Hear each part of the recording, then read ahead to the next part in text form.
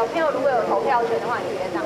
找来新竹市长高虹安上战车当麦克风手，选前超级星期六，柯文哲前进台中，乡亲跑出家门热情迎接。另一头副手吴新颖则在云林分进合集。那三个人跑几班高铁就来中南国家，可能云林县民嗨，爸爸妈妈宝贝。吴新颖弯下腰打招呼，就是要离选民更近一些。柯颖配重兵部署中台湾摇摆州，但另一头国民党持续挖柯墙角。侯友谊前一晚再度喊话。要组联合政府，还赞柯国是人才。人家说正直诚信，你知道？我我就觉得，那你就是明明在操作气吧？我讲一大堆，我我啊不要不想再歪这种，这是公开场合的，我也不想去讲。人家说不要不要口出恶言。尤其讲为谁攻击不为，同胞需团结，团结真有力。集中选票到在亚小的另外和康配，我们才能够达成。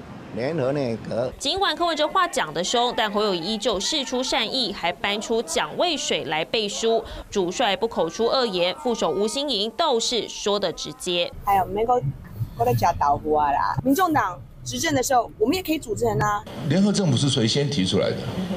这很奇怪啊。